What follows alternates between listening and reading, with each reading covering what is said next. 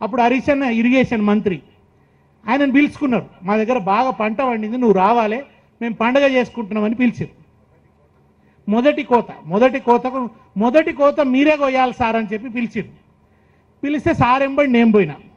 చూద్దాం అసలు జనం ఎట్లా ఆలోచిస్తున్నారు ఏంది అని చూసినందుకు పోయినా. అక్కడ లంబడాలు బాగుంటారు వాళ్ళు మంచిగా వడ్ల రాసి పోసి దాని చుట్టూ డ్యాన్స్ చేస్తున్నారు సంతోషంతో అంత ఎప్పుడు పండలే. అక్కడ పోతే ఓ పెద్ద మనిషి వచ్చిండు.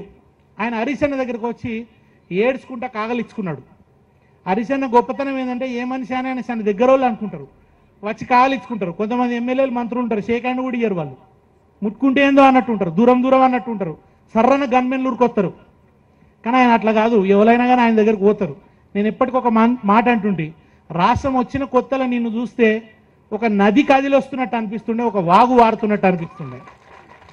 ఇప్పుడు హరీష్ అన్నను చూస్తే మంచిగా భుజం మీద చేయబెట్టి నీ ఆరోగ్యం నా బాధ్యత అన్నట్టు అనిపిస్తుంది ఆయన ఇప్పుడు ఆయన మెడలున్న కండువా చూస్తే నాకు కండువా తిరిగి అనిపించదు స్టెథస్కోప్ తిరిగి అనిపిస్తుంది అది. డాక్టర్ మెడల్ వేసుకున్న స్టెథస్కోప్ తిరిగి ఉంటుంది. ఇవాళ హరీష్ అన్న వైద్యం ఆరోగ్యానికి భరోసా ఇస్తున్నాడు అన్నాడు నీటికి భరోసాగా నిలిచిండు ఆయన. ఒక గొప్ప మాట అన్నాడు.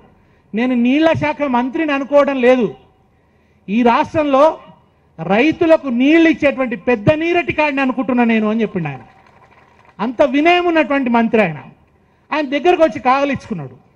కాగలిచ్చుకొని అయ్యా పట్నాలు పనిచేసేందుకు పోయినాము అడ్డ మీద కూలీలమై బతికినాం. పట్నంలో గాడిదలు లెక్క వరలినాం పాప ఆయన భాషలు అన్నాడు ఆయన అట్లా. అట్లా తిరిగినాం మేము. ఇలా మళ్ళా ఊరికి వచ్చేటట్టు చేసినావు వ్యవసాయం చేసుకుంటట్టు చేసినావు అని చెప్పి దుఃఖంతో కళ్ళలో నీళ్ళు తీసుకుంటా కాగలిచ్చుకున్నాడు.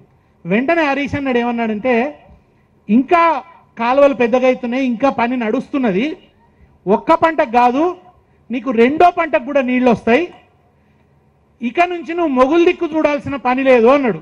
వెంటనే ధీమాగా రైతు ఏమన్నాడంటే మొగులు దిక్కు ఎందుకు చూస్తా సార్? నీ దిక్కు చూస్తా అన్నాడు. నీళ్ళు కావాలంటే ఇక మొగులు దిక్కు చూడ? నీ దిక్కు చూస్తా అని అన్నాడు. అంత ధైర్యాన్ని అంత ధీమాన్ని ఇవాళ రైతులలో నింపింది బీఆర్ఎస్ ప్రభుత్వం.